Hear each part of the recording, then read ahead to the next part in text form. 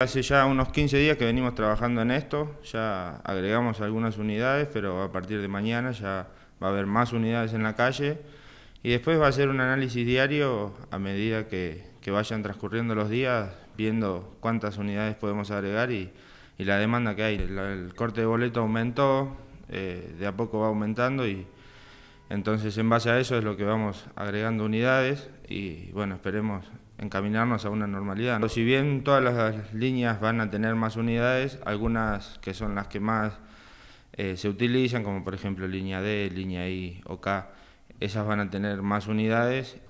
¿Las que se agregarían serían unidades nuevas o en buen estado? Son unidades ya usadas, pero en condiciones de salir. Tenemos las revisiones técnicas al día y los chicos del taller hacen la verdad que un muy buen trabajo. ¿Y, la línea, eh, cuál es em, el, rango de horario entre un colectivo y otro? Y vamos a andar más o menos con una frecuencia de 20 minutos, 18 minutos promedio. Eso sería lo que vamos a intentar ahora. Después eh, depende de la demanda, si sacamos más unidades por una cuestión lógica vamos a bajar esos tiempos. Todo lo pueden chequear en la app, como siempre, eh, están funcionando correctamente, así que a partir de mañana ya estaría todo disponible.